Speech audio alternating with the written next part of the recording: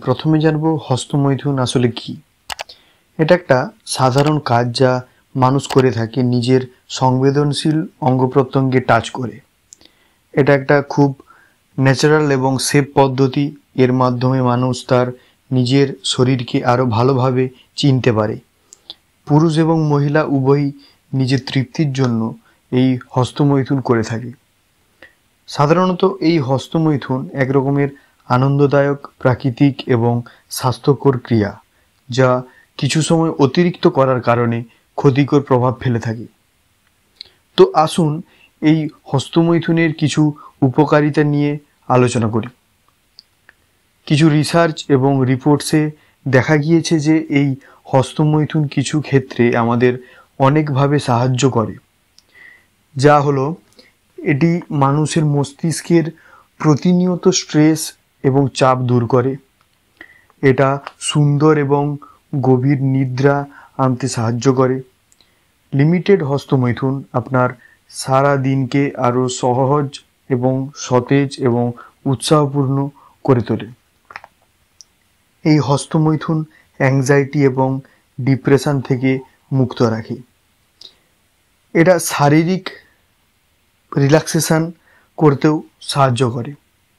এই হস্তমৈথুন শরীরকে শান্তিপূর্ণ অনুভূতি এবং আনন্দ দেয়।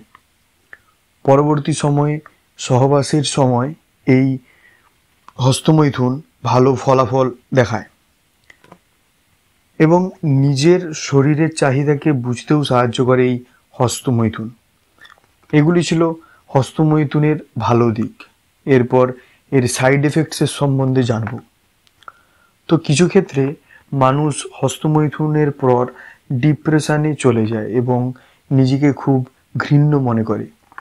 যদি আপনি প্রতিনিয়ত এই রকম হস্তমৈথুনের পর নিজেকে ঘৃণ্য এবং অপরাধী মনে করেন, তাহলে আপনার কাউন্সেলিংয়ের দরকার আছে। নিশ্চিতভাবে কোনো ডাক্তারের সাথে কথা বলুন।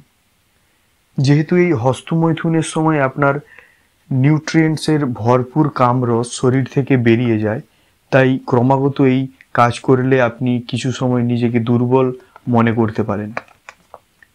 যেমন কোনো জিনিসের নেশা ক্ষতিকর হয়, তেমনি এই হস্তমৈথুনের নেশা কারোর লাগলে তা তাকে অনেক নিচে নামাতে পারে।